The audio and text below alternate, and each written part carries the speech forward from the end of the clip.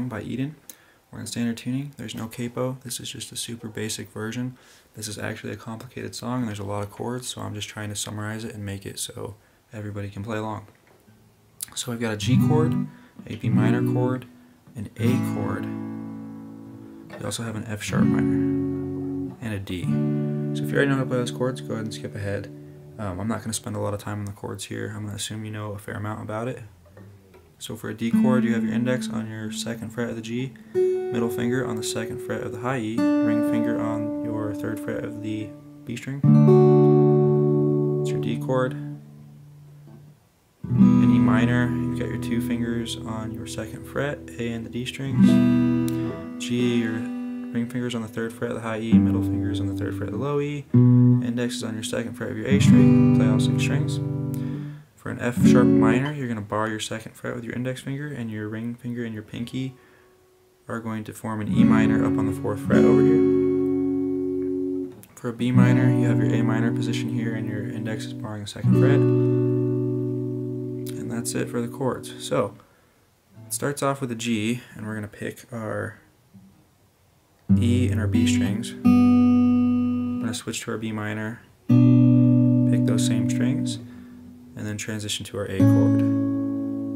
So G, B minor, A, G, B minor, A, and that's the pattern that goes on through the verse.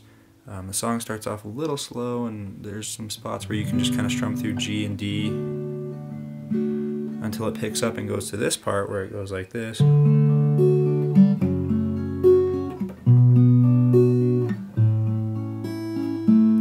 So that is your you're picking down through the strings and then right back up the strings on each chord. So you start out with your D chord. We're going to move to our F sharp minor, to our B minor, A, and you're going to do this twice. Whoops, that's an F sharp minor. To your B minor, and then an A. So that's in there as well. That's kind of like, I guess I would consider the pre-chorus. And then the chorus, maybe you can consider this part.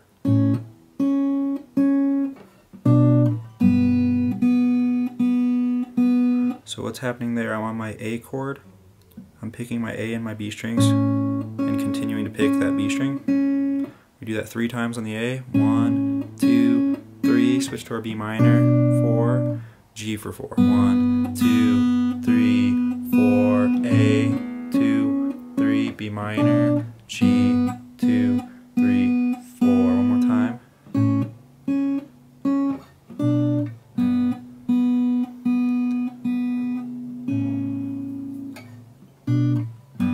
That's all there is to it. So, like I said, this is a super simplified version of the song. There's a lot more to it than just this tutorial, but I think I've given you the tools here that you need to play along with the song. So, that's going to be it for this tutorial. If you have questions, go ahead and comment below.